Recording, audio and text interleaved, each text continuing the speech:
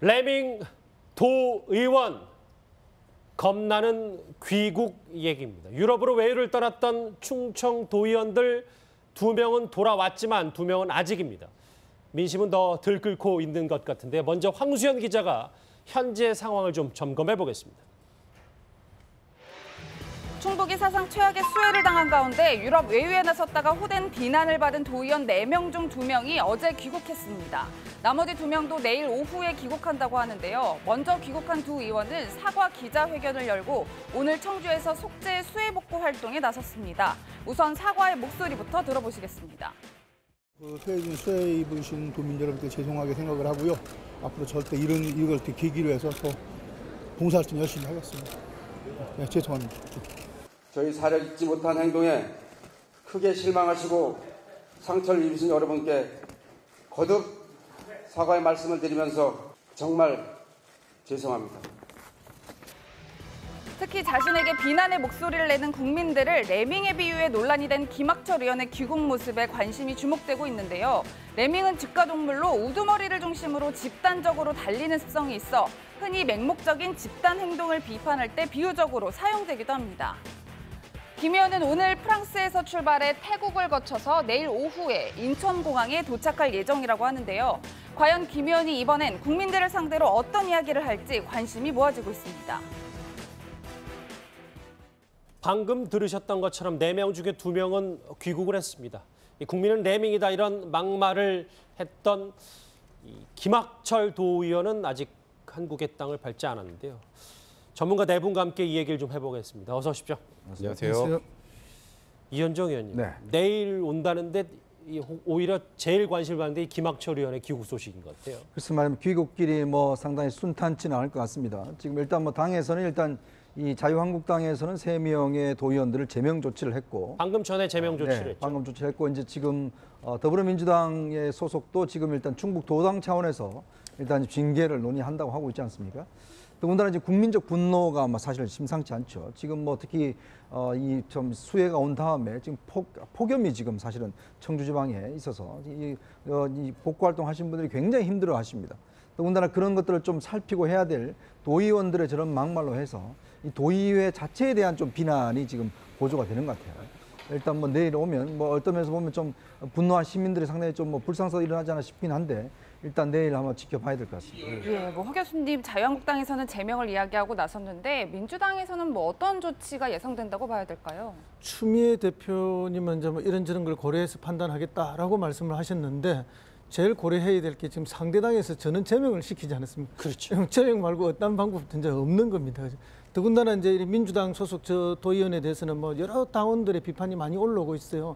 심지어는 당내 행사에는 한번 얼굴도 안 보이더니 이 도대체 왜 자유한국당 의원들하고 놀러 가는 데는 앞장서서 가느냐 이런 비판이 나올 정도로 예. 강력하니까 뭐 민주당 쪽에서도 별 방법은 없다. 예. 결국은 제명 외에는 다른 방법을 찾기 매우 어려울 것이라 그렇게 봅니다. 음흠, 자유한국당은 일단 방금 전에 이 도의원 세명을 제명 조치했는데 민주당은 오늘 추미애 대표의 목소리를 들으면 앞으로 어떻게 조치를 내릴지 알 수 있을 것 같습니다. 목소리 들어보시죠.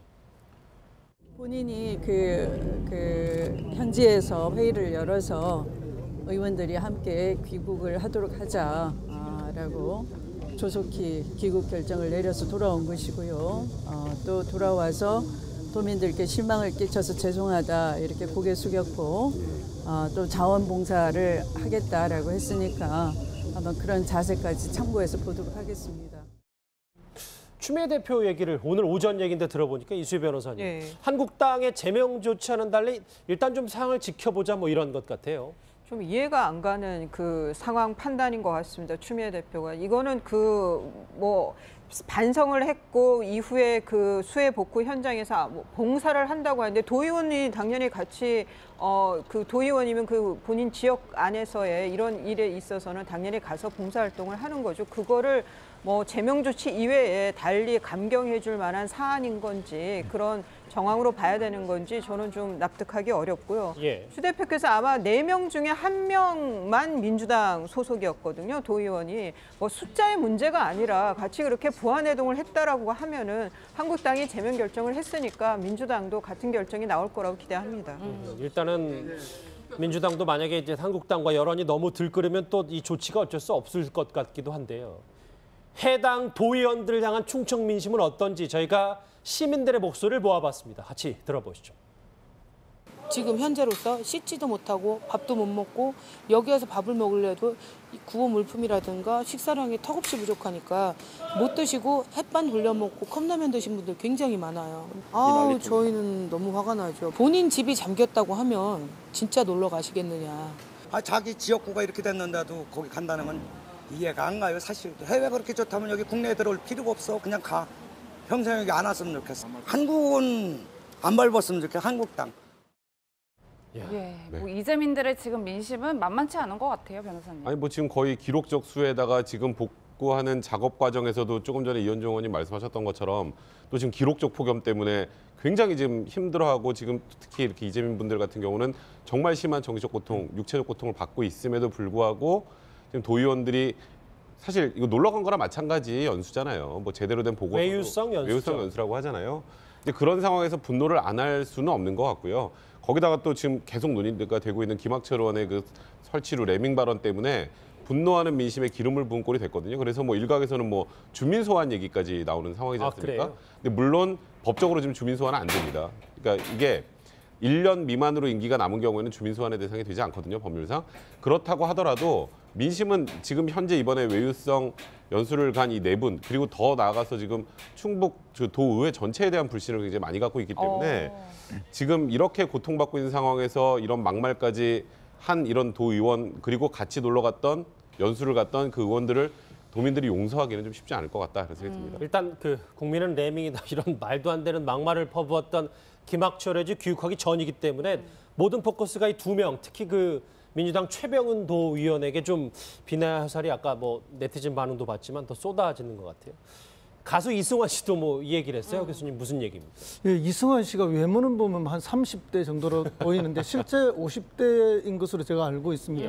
그만큼 이제 굉장히 오랜 세월 인기를 누리고 있고 외모를 젊음을 유지하고 있, 있는데 실제 나이가 이제 이 그 레밍즈라는 이 게임이 1991년도에 출시가 됐다고 합니다. 아. 그럼 아마 그때 이제 본인도 이 게임을 좀 즐겼던 것 같아요. 레밍이란 레밍을 저 한 게임이 있었어요? 그렇습니다. 그런데 이제 이 게임을 아는 사람들은 아재다 그런 이야기면은 그때 당시 1991년도에 이 게임을 즐겼던 20대면은 지금은 이제 50대가 다 돼가니까 아재 소리를 들을 만한 사람이고 이 게임을 가지고 이야기할 수 있다. 결국 이제 레밍이라는 이 우리가 그때는 뭐 덜지라고 많이 번- 번역을 했는데 단체로 이렇게 가서 자살하는 행위라든지 뭐 그런 게임을 이제 게임으로 만들어서 쓴 건데 저는 사실 이 게임을 잘 모릅니다. 그러니까 저는 예. 아재 수준보다 이미 더 넘어간 세대가 아닌가 해서 약간 저- 절망을 했는데요. 아까 이 기사를 보면서 어쨌든 이제 그 이 도의원이 네밍을 이야기하고 국민들을 이 네밍에 비유한 것은 매우 부적절하죠. 근데 이게 사실은 1980년도에 이미 이 이야기가 한번 나왔습니다. 그 주한 미 대사였던 워커 대사가 한국 국민들을 이렇게 이제 비하했죠. 위컴 대사. 아, 위컴 대사가 예. 예, 비, 예, 비하를 해가지고 그때 많이 이제 우리 국민들이 좀 분노하기도 했던 건데 아마 이분이 주간지 기자를 했다고 그래요. 그러니까 아마도 그때 있었던 이 기사 내용을 알고 그 말을 그대로 인용해서 이번에 다시 한번 쓴 것이 아닌가 그렇게 여겨집니다. 예. 김학철 의원이 기자 출신이군요. 아, 그렇군요. 어찌됐건 저 이재민들의 아까 공분 섞인 목소리 다 들으셨을 텐데 행동으로 보여온 시민도 있었어요. 어제 한 시민이 도의 앞에서 오물을 투척했습니다. 그 현장 한번 같이 보실까요? 삽질을 하지 않고 여행 다니는 충북 도의원 정사태 삽질 뿌리 못 받았더니 여행을 다녀? 이런 나쁜 X나 뭐 국민이 내미냐? 어? 사퇴! 사퇴하는 게 좋을 거야. 국민 열쇠 갖고 놀러 다녀! 말이라는 거야! 어떻게 국민을 향해서 내미라 그래? 사과는 못할 망정! 국민 열쇠 갖고 여행 다니면서! 어쩌고 어째! 놀러 다니면서 국민한테 헛소리하는 게 이게 도의원이야 대국민 사죄는 못할 망정! 국민을 향해서! 뭐 쥐떼들이라고? 이런 없는 사람 같으라고 축 보면 분노한 민심에 기름을 부은 격이어서 말이죠. 저 이수 변호사님. 예. 지방선거가 내년 6월이니까 이 물론 뭐 이 도의원 네명이 제명을 당하더라도 도의원직은 계속 수행을 할 텐데 뭐 앞으로 정상적으로 뭐 이게 수행이 가능하겠습니까? 그- 그래도 뭐 이거 이분들이 그냥 명예직은 아니에요. 다 보수를 받기 때문에 세비를 받기 때문에 그에 상응하는 뭐 일은 해야 되는 거죠. 그 아마 6월 달에 제명이 됐으니까 그 뭐 공천은 아예 그 저기 당 소속이 아니니까 공천은 대상이 되지도 않고 예. 뭐 무소속으로 설사 출마한다 하더라도 이런 큰 파장이 있었는데 당선이 되기는 어렵겠죠. 근데 모든 걸 떠나 가지고 이런 일이 계속 반복되고 있다는 거예요. 지, 그 지방자치의 뭐 이런 의회에서 이걸 좀 근본적으로 이- 이번에 이 일을 계기로 해서 근본적으로 이걸 좀 반복되는 이, 이런 상황을 어떻게 개선할 건지에 대해서 좀 이- 글쎄 이런 거는 다 각 자치 분권으로이기 때문에 자치적으로 해결해야 되는 문제이지만 어, 김부겸 장관께서 지방자치 쪽이 그래도 소관 업무니까 그 부서가 좀 이런 거에 대한 가이드라인을 마련하는 것도 괜찮지 않나 이런 아, 도의원들의 생각이 이제. 외유성 연수 같은 걸요. 예, 예. 예, 이현정 의원님 뭐 오물 투척한 그 영상을 계속 함께 보시고 계셨는데 사실 저런 불상사가 일어나면 안 되겠지만 내일 김학철 의원의 귀국길이 만만치 않겠다 이런 생각이 좀 들어요. 그러니까 이제 분노하시는 분들이 워낙 많기 때문에 이제 여러 가지 이제 표현을 하실 것 같은데 사실 뭐 그런 건 제가 볼 때는 뭐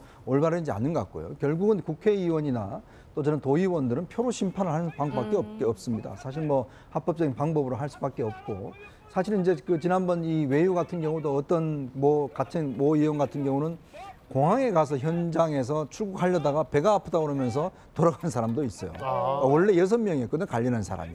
그러니까 한 사람은 처음부터 이제 안 간다고 그랬고 한 사람은 공항까지 갔다가 거기서 배가 아프다 그러면 돌아왔어요. 이제 아마 본인도 고민스러웠겠죠. 여러 가지 이제 고민 고민하다가 왜냐하면 이 사실 도의원들 이 외유가 상당히 이제 매혹적입니다. 이렇게 보면 이 다 이제 자기들 그 도의의 예산으로 가는 거 아니겠습니까? 거기 일부는 조금 예산만 자기 돈만 더 보태서 사실 이제 오래 전부터 이제 계획된 것이고 이제 돌아가면서 가는 거기 때문에 아마 이제 내년 선거 때까지는 이번이 마지막이다. 뭐 아니면 이렇게 생각하고 이제 그 아마 갔을 거예요. 그러니까 그런 상황이다 보니까 특히 이제 이번에 수해가 나서 수해에 대해서 이제 그 재난지구로 어, 결정해 달라는 그 부탁하는 성명을 읽고 난 다음에 바로 그냥 버스 타고 올라갔지 않습니까? 예. 이제 그런 행태를 보면 실제로 시민들의 상당히 이제 분노를 많이 살 거고 아마 이제 내일 아마 공항에 들어오면 이뭐 경찰이나 여기서 좀 질서 유- 유지하기도 상당히 힘들지 않을까 싶습니다. 예, 제가 뭐 외유가 관련해서 과거 기사들을 좀 찾아보니까요. 과거에는 미꾸라지를 던진 적도 있었다. 뭐 이런 기사들도 그렇죠. 있어요. 과거에 뭐 2007년도죠. 예. 그때도 보면 뭐 이제 어연들 들어올 때 뭐 흙탕물 만들지 말라고 해서 이 미꾸라지 같다 해서 미꾸라지를 뭐 던지는 분도 계시고 아, 저 10년 전 예, 기사네요. 감사들 이제 그 갔다 온 거 있지 않습니까? 감사들이 저 이구아나 폭포 갔다 보고 오고 그래서 그때도 뭐 시민들이 저렇게 공항까지 나가서 너무나 아, 이과수 폭포잖아요. 그렇죠. 어, 그 가서 이제 막 저렇게 하기도 하고 상당히 그래서 참 이 국민들의 분노가 보면 예. 저렇게 매번 반복되는데 사실은 좀 이제 저런 거보다는 어쩌면서 보면 좀 이제는 표로서 하고 또 감시를 좀 많이 해야 됩니다. 음. 이 도의회 같은 경우는 거의 감시가 안 돼요. 사실은 시민단체나 시- 지방 언론들 같은 데서 감시를 제대로 해야 되는데 이게 상당히 약하거든요. 예. 그러면 좀 감시를 많이 할 필요가 있, 있을 것 같습니다. 이구아나 폭포가 아니라 이과수 폭포. 저기 화면에 보니까 미꾸라지를 투척하면서 저 암행어사 복장을 한 저 도의원들을 단죄하겠다 뭐 이런 10년 전 기사도 잠깐 봤었어요. 저 허 교수님은 뭐 정무 부지사까지 하셨으니까 이 그 공무원들의 세계를 좀 잘 아실 텐데 특히 해외 연수 다녀오면 연수 보고서를 좀 제출을 해야 되는데 이 보고서가 잘 써서 제출은 되고 있습니까? 잘 안 되고 있죠. 뭐 국회의원들도 잘 안 될 뿐만 아니라 뭐 광역시도의원 그리고 기초의 시군구원들 다 마찬가지입니다. 형식적이고 그냥 그야말로 뭐 남이 써놓았던 거 일부 뺏겨서 내는 경우도 많고 아니면은 뭐 공무원에게 대리 제출하게 하고 이런 것들이 많은데 그럼에도 불구하고 왜 이렇게 자꾸 가느냐 이렇게 비난을 받으면서도 가고 사건이 터지면 중간에 짐 싸서 돌아오면서도 이런 일이 반복되는 것은 결코 공짜의 달콤한 유혹입니다. 이, 이 국민 세금으로 된 이 공금으로 해외 여행 그리 몇 백만 원을 간다는 게 쉬운 일. 잠시만요. 유럽 여행을 갈 때 도의원들은 본인 돈 한 푼도 안 냅니까? 뭐 이번에 갈 때는 뭐 50만 원씩 정도 냈다고 이렇게 나와 있는데 그건 확인할 바는 없고요. 전체 비용은 뭐 엄청나지 않습니까? 뭐 비행기 표값만 해도 엄청난데 가서 체류비까지 합치면 적어도 사, 최소 1인당 4, 500만 원 정도의 비용이 들 텐데 그런 비용을 뭐 이렇게 공금으로 가니까 이 유혹이 얼마나 크겠습니까? 그러니까 이걸 하나의 특권으로 이해하고 있는 거죠. 모두가 내가 당연히 누려야 될 내 특권이다. 내가 어언하는 중에 몇 번은 나가야 된다. 이게 이제 지금 관례처럼 쭉 굳어져 가지고 이렇게 당연히 나가는 거로 돼 있고 이거 못 나가면 무슨 큰 손해 보는 줄 알고 있고 그러니까 뭐 길을 쓰고 나가는 거죠. 사실 국회도 마찬가지고요. 그래서 이제 이거 좀 제도 개선이 필요한 건 사실이다. 자기 부담률을 조금 더 높인다든지 아하. 이렇게 해서 새로운 방법을 이건 찾아야 한다고 봅니다. 물론 무조건 못 나가게 하는 것도 문제. 문제가 있습니다. 사실은 선진지를 견학하고 학습하고 하면서 많은 걸 새로운 배우는 건 또 사실이거든요. 뭐 있겠죠. 예. 그러나 이제 그 배우는 거는 조금밖에 안 되고 활용하는 것도 거의 없고 오히려 그냥 관광처럼 다니는 이것은 국민들에게 큰 실망을 주는 것이다 봅니다. 저렇게 도의원 네명이 외유성 연수를 다녀온 사이 청주는 지금 아직도 피해에서 벗어나지 못하고 있습니다. 현장 목소리 한번 같이 들어보시죠. 산사태로 인해서 가옥을 다 침수해버렸죠. 논 가운데 바위가 와 있고 지금 다리가 끊어진 상태라 포크레인을 싣고 들어와야 되고 차량이 왔다 갔다 해야 되는 상황인데 장비들이 지금 다 일을 해야 되는 상황인데 장비가 못 들어오니까 지금 수해를 복구를 못하고 있는 상황이 돼버렸습니다. 눈 뜨고 볼 수가 없는 그런. 상황입니다. 예, 뭐 정말 최악의 상황이다 이런 표현이 맞을 것 같은데 이런 와중에 또 변사 사건도 발생했다고 하더라고요. 그러니까 지금 현장 상황을 좀 간단하게 말씀드리면 왜 더 지금 저기 도민들이 그렇게 분노하고 있냐면 현재 지금 청주 날씨가 34.3도입니다. 예. 거의 지금 폭염주의가 주의보가 내려져 있는 상황이고요. 침수 지역을 일단 마을로 한번 생각을 해보세요. 마을에 침수가 되면 뭐 식탁부터 옷까지 그다음 음식물들 같은 거 전부 다 잠겼잖아요. 그럼 그게 이렇게 묻으면 어떻게 되나요? 부패하잖아요. 그러니까 악취도 엄청나게 심한 데다가. 또, 또 이게 농경지 같은 경우에는 지금 일년 농사 지금 다 이제 뭐 사실 예. 이제 끝난 거나 마찬가지 상황이 된 데다가 가축들까지 죽었으니까 가축들도 썩는 냄새까지 나잖아요. 그래서 지금 방역까지 해야 되는 상황이 되고 이게 복구가 지금 당장 불가능한 상황일 정도라고 합니다. 민관군에서 전부 다 같이 복구 작업을 돕고 있어도 현실적으로 지금 일손도 턱없이 부족한 상황이라고 하니까 지금 이렇게 도민들이 더 분노를 하는 거고요. 지금 말씀하셨던 거는 괴산 수력 발전소의 지금 그 장이 유서가 없는 상황인데 지금 사망한 상태로 발견이 됐거든요. 어, 예. 근데 이게 지금 자살로 지금 많이 추정을 하고 있는 것 같습니다. 근데 아직 유서가 없기 때문에 명확하게 사인을 좀 밝혀봐야겠지만 예. 원래 16일 날 집중호우가 왔을 당시에 이 괴산 수력발전소 수문을 제대로 열었으면 이 하류 쪽에서 이렇게 심하게 물난리가 나지 않았을 거라는 지적들이 좀 있었거든요. 아. 그러니까 그런 부분에 대한 심리적 부담을 느낀 게 아닌가 뭐 이렇게 지금 추정하고 있는 상황입니다. 예. 글쎄 청주 시민들은 저렇게 물난리 복구에 한창인데 도의원들 내일 드디어 두명 나머지 두 명이 들어옵니다. 어떤 말을 할지도 또 저희가 똑똑히 봐야 되겠죠.